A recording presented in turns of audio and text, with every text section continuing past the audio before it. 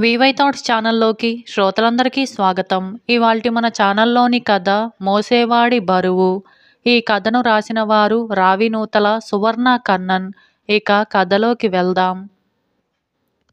గోపాలపురం అనే ఊళ్ళో గోవిందయ్య అనే ధనవంతుడు ఉండేవాడు. ఆయనకు ఎన్నో రకాల వ్యాపారాలు ఉండటం వల్ల పనులు చేసేందుకు చాలామంది నౌకర్లు ఉండేవాళ్ళు. వాళ్ళ కష్టసుఖాల గురించి ఏమాత్రమూ పట్టించుకోని గోవిందయ్య వాళ్ళ చేత తలకు మించిన బరువులు మోయించేవాడు. మండుటెండలో మంచినీళ్ళకైనా వెళ్ళనివ్వకుండా వాళ్ళ చేత చాకిరీ చేయించేవాడు. అయినా రెక్కాడితే కానీ డొక్కాడని ఆ నౌకర్లు నోరెత్తకుండా యజమాని చెప్పిన పనులు చేసుకుపోయేవారు. అయితే ఇదంతా గోవిందయ్య భార్య సీతమ్మకు కొడుకు శివయ్యకు చాలా బాధగా ఉండేది. వాళ్ళు గోవిందయ్యలో మార్పు తీసుకురావాలని ఎన్నో విధాలుగా ప్రయత్నించి చూశారు. అయినా కానీ ఓడిపోయారు. గోవిందయ్యకు ఒక చక్కని గుర్రబండి ఉంది. ఆ బండిలోనే ఆయన తరచుగా ఊరుకు కొంత దూరంలో ఉన్న పట్నానికి వెళ్ళి వస్తూ ఉండేవాడు. ఆయన గుర్రాన్ని అపురూపంగా చూసుకున్న బండిని తోలే వీరయ్యను మాత్రం మిగతా నౌకర్లలాగే చూసేవాడు. వృద్ధుడని కూడా అతన్ని చూసి జాలి తలిచేవాడే కాదు. పట్నానికి వెళ్ళాలంటే ఒక అడవి దాటాలి. ఆ అడవిలో రకరకాల క్రూర మృగాలతో పాటు కొందరు బందిపోటు దొంగలు కూడా ఉన్నారని అందరూ చెప్పుకునేవారు. ఆ కారణంగా చీకటి పడ్డాక ఎవరూ ఆ అడవి గుండా ప్రయాణం చేసేందుకు సాహసించేవాళ్ళు కాదు. ఒకనాడు గోవిందయ్య పట్నంలో ఉన్న బంధువుల ఇంటి పెళ్ళికి భార్యను కొడుకును వెంటబెట్టుకొని బయలుదేరాడు. సీతమ్మ వెంట చాలా సామాను ఉంది. కొడుకు చెప్పిన మీదట గోవిందయ్య వ్యాపారానికి సంబంధించిన కొన్ని వస్తువులని రెండు పెట్టెలెండా సర్ది బండిలో పెట్టాడు. బాగా తెల్లవారక ముందే బయలుదేరిన గుర్రబండి అడవి చేరేసరికి మిట్ట మధ్యాహ్నమైంది. బండి తోలుతున్న వీరయ్య హఠాత్తుగా రెండు చేతులతో గుండె పట్టుకొని బండిలో నుంచి కిందికి జారాడు. ఆ మరుక్షణం గుర్రం కట్లు తెంచుకొని చెట్లలోకి పరుగు తీసింది. బండి దారి పక్కన ఉన్న ఒక చెట్టు బోదెకు తగిలి ఆగిపోయింది. బండిలో ఉన్న ముగ్గురు కంగారు పడిపోతూ బండిలోంచి దిగారు. ఇంకా నయం బండి బోల్తా కొట్టింది కాదు అదృష్టవంతులం అన్నాడు గోవిందయ్య ఆయాసపడుతూ. ఇప్పుడేం చేయటం? అన్నాడు శివయ్య దిక్కులు చూస్తూ. చేసేదేముంది? ముగ్గురం తలా కాస్త సామాను మోసుకు వెళ్దాం అన్నది సీతమ్మ. క్రూర మృగాల బందిపోట్ల భయంలో వాళ్ళకు వీరయ్య సంగతే గుర్తు రాలేదు. ముగ్గురు సామాన్లున్న పెట్టెల్ని తలకెత్తుకొని బయలుదేరారు. కొంత దూరం వెళ్ళాక సీతమ్మకు వీరయ్య సంగతి గుర్తుకొచ్చి వీరయ్యను అక్కడే వదిలేశాం. ఈ అడవి మధ్య ముసలివాడు ఏమైపోతాడో ఏమో పాపం అని అన్నది. ఇవన్నీ ఆలోచించకు పట్నం చేరాక వాడి కోసం ఎవరినైనా పంపుదాం. వీరయ్య మాటకేం? అంత ఖరీదైన బండి గుర్రం అంటూ విసుక్కున్నాడు గోవిందయ్య. అతి ప్రయాస మీద వాళ్ళు ఒక క్రోసెడు దూరం నడిచి అడవి దాటి ఎండలో సెగలు కక్కుతూ ఉన్న ఇసుక ప్రదేశాన్ని చేరారు. ఆ సరికి ముగ్గురు బాగా అలసిపోయారు. అందరికన్నా బరువైన పెట్టెను మోస్తున్న గోవిందయ్య ఇక కాలు సాగక పెట్టెను దించి దాని మీద కూర్చుంటూ దాహం నాలుక పిడచగట్టుకుపోతుంది. మంచినీళ్ళ చెంబెక్కడా? అని భార్యను అడిగాడు. సీతమ్మ దిగాలు పడిపోతూ అయ్యో దాన్ని బండిలోనే మరిచిపోయాం అని అన్నది. ఆ సమయంలో గోవిందయ్యకు ఇంటి దగ్గర మండుటెండలో పెద్ద పెద్ద బరువులు మోస్తూ తన నౌకర్లు ఎంత ప్రయాసకు గురి అయ్యేవాళ్ళో అన్న ఆలోచన కలిగి మనస్సు చివుక్కుమన్నది. ఆ క్షణంలోనే అడవిలో ఒంటరిగా ఉన్న ముసలి వీరయ్య గుర్తుకు వచ్చాడు. గోవిందయ్య చప్పున పెట్టె మీద నుంచి లేచి వెనుదిరిగి మెల్లగా అడవిలోకి బయలుదేరాడు. శివయ్య అతన్ని వారిస్తూ బండిలో ఉన్న మంచినీళ్ళ చెంబు నే తెస్తాను నువ్విక్కడే ఉండు అంటూ అక్కడి నుంచి కదిలాడు. ఆ మాటకు గోవిందయ్య అడ్డంగా తలాడిస్తూ నే వెళుతున్నది మంచినీళ్ళ కోసం కాదు గుండె నొప్పితో అడవిలో బండి నుంచి కింద పడిపోయిన ముసలి వీరయ్య కోసం పద కట్లు తెంచుకొని పారిపోయిన గుర్రాన్ని మనమే వెతికి పట్టుకొని వాణ్ణి పట్నం తీసుకెళ్ళి వైద్యుడికి చూపిద్దాం అని అన్నాడు. అతడలా అనగానే సీతమ్మ శివయ్య ముఖముఖాలు చూసుకున్నారు. అది గమనించిన గోవిందయ్య ఇంతకాలంగా నేను తోటి మనుషుల పట్ల అమానుషంగా ప్రవర్తించాను. ఈ జరిగిన అనుభవం నాకొక మంచి గుణపాఠం. మోసేవాడికే తెలుస్తుంది. కావడి బరువు అన్న పెద్దల మాటకు అర్థం ఇప్పుడు నాకు తెలిసింది అని అన్నాడు. అంతలో వాళ్ళకు గుర్రం సకిలింపు గిట్టెల మోత వినిపించింది. వీరయ్య బండితో వాళ్ళకేసే వస్తున్నాడు. గోవిందయ్య గబగబా బండిని సమీపించి ఎరా వీరయ్య అంత గుండె నొప్పితోనూ గుర్రాన్ని వెతికి పట్టుకొని బండికి కట్టి తోలుకొస్తున్నావా? అని అడిగాడు జాలి పడుతూ అయ్యా ఈ గుండె నొప్పి పదహారేళ్ళుగా నాకు మామూలే. అయితే ఇంతవరకు నేను ఆ బాధతో మీ కంట పడలేదు. ఈ అడవిలో గుర్రం ఎక్కడికి పోతుంది? కొంతసేపటికి అదే బండి దగ్గరకు వచ్చేసింది. నా కారణంగా మీరు బరువులు మొయ్యవలసి వచ్చింది. క్షమించండి అన్నాడు వీరయ్య. ఈ మాటలు విన్న గోవిందయ్య ముఖం ప్రసన్నమైంది. ఆయన వీరయ్య భుజం తట్టి ఒరేయ్ ముందు ఆ మంచినీళ్ళ చెంబు ఇటువు అని మంచినీళ్ళ చెంబు అందుకొని గడగడా నీళ్ళు తాగి నేను క్షమించవలసినంత తప్పు నువ్వేం చెయ్యలేదు. నేనే ఇంతకాలంగా నా నౌకర్లందరి పట్ల తప్పు చేశాను. మోసేవాడి బరువు చూసేవాడికి తెలియదు అని అన్నాడు. ఆ తరువాత ముగ్గురు బండిలో పట్నం వెళ్ళి మర్నాడు తిరిగి ఇల్లు చేరారు. ఆనాటి నుంచి గోవిందయ్య తన నౌకర్లను దయగా చూస్తూ వాళ్ళ చేత మా యజమాని దేవుడు ధర్మరాజు అని అనిపించుకున్నాడు. ఇలా మోసేవాడి బరువు అని ఈ కథ సమాప్తమైంది. అలాగే మరొక కథ దాచిన సొత్తు. ఈ కథను రాసిన వారు ఆర్. జగన్మోహన్ రావు. ఇక కథలోకి వెళ్దాం. ఒక గ్రామంలో ఒక గొప్ప ధనికుడు ఉండేవాడు. ఆయనకు ముగ్గురు కూతుర్లు ఉండేవాళ్ళు. మగపిల్లలు లేరు. ఆయన అంతులేని ధనం కూడబెట్టాడని అందరూ చెప్పుకునేవారు. ఆయన రోజు బండి కట్టించుకొని రెండు గంటల సేపు పొలాల మధ్యగా తిరిగి ఇంటికి వస్తూ ఉండేవాడు. ఆ ప్రకారమే ఆయన ఒకనాడు సాయంకాలం తన బండివాణ్ణి పిలిచి శివ బండి సిద్ధం చెయ్యి అని అన్నాడు. బండి తోలే శివుడు బండికి గుర్రాన్ని పూంచి కట్టాడు.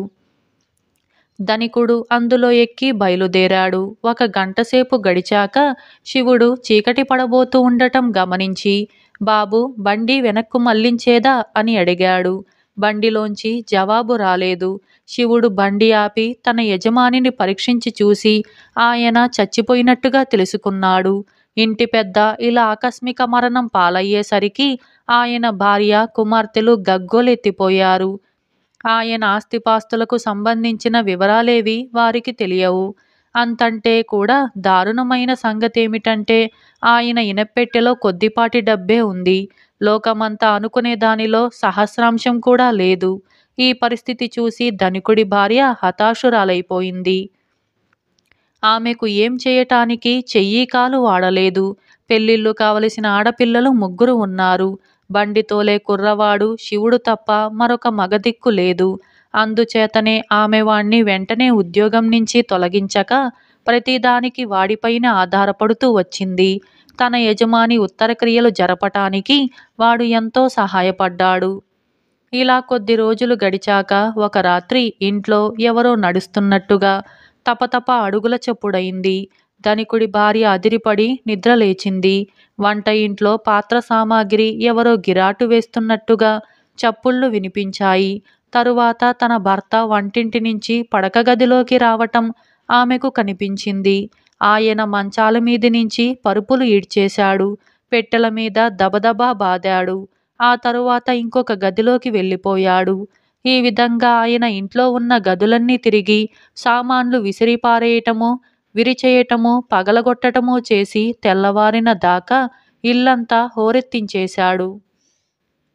తెల్లవార్లు ఇంట్లో ఎవరికి నిద్రలేదు సరే కదా ప్రాణాలు అరచేత పెట్టుకొని కూర్చున్నారు. ఈ ఉన్న కష్టాలకు తోడు ఇల్లు దయ్యాల కొంప అయిందని నలుగురికి తెలిసిపోతుందని ధనికుడి భార్య చాలా బాధపడింది.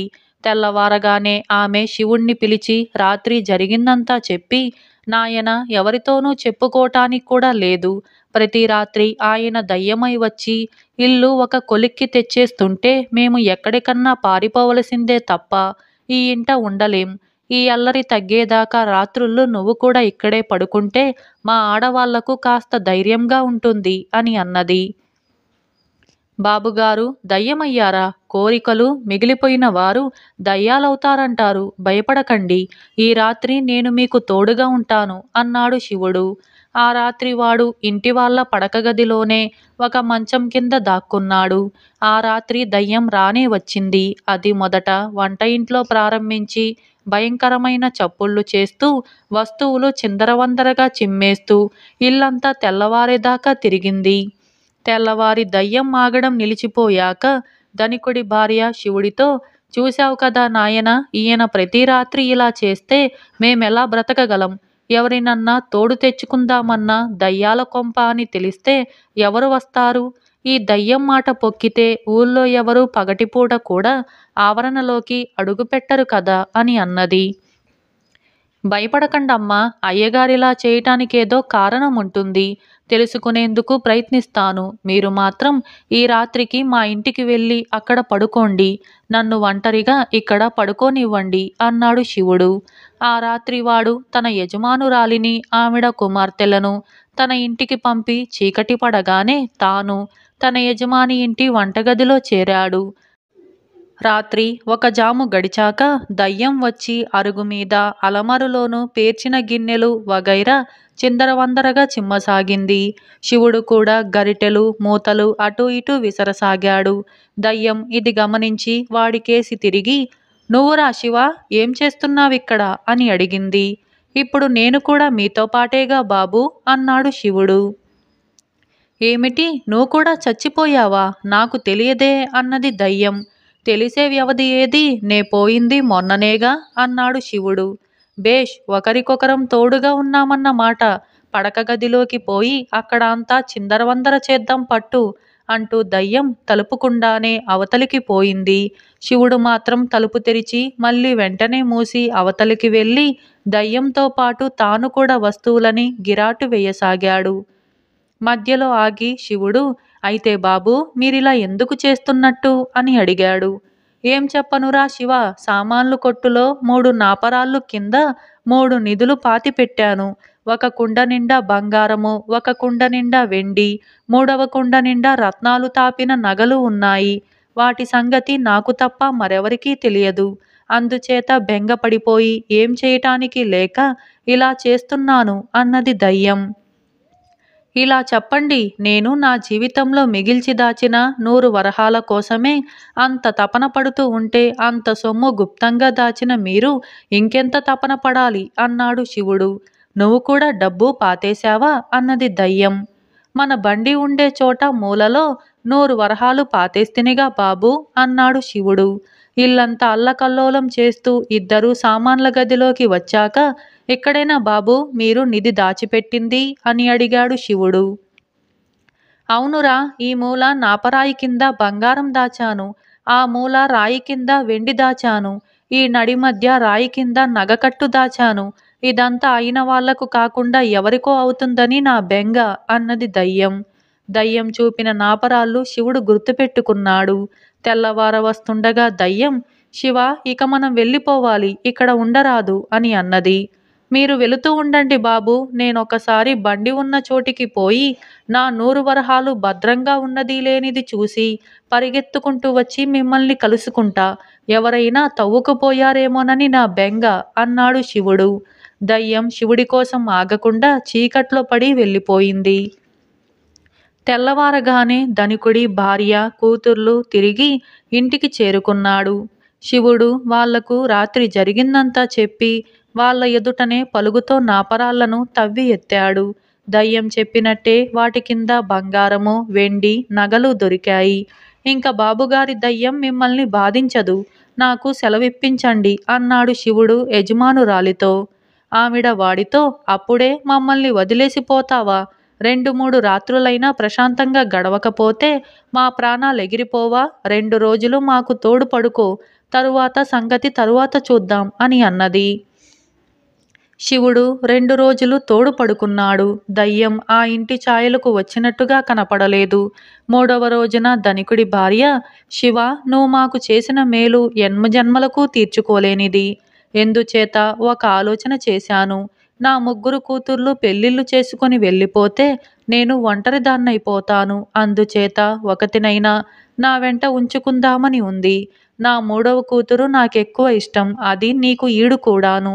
దాన్ని నీకిచ్చి చేస్తాను. ఇద్దరూ నా వెంటే ఉండండి. అందువల్ల నీకు నష్టం లేదు నాకు లాభం అని అన్నది.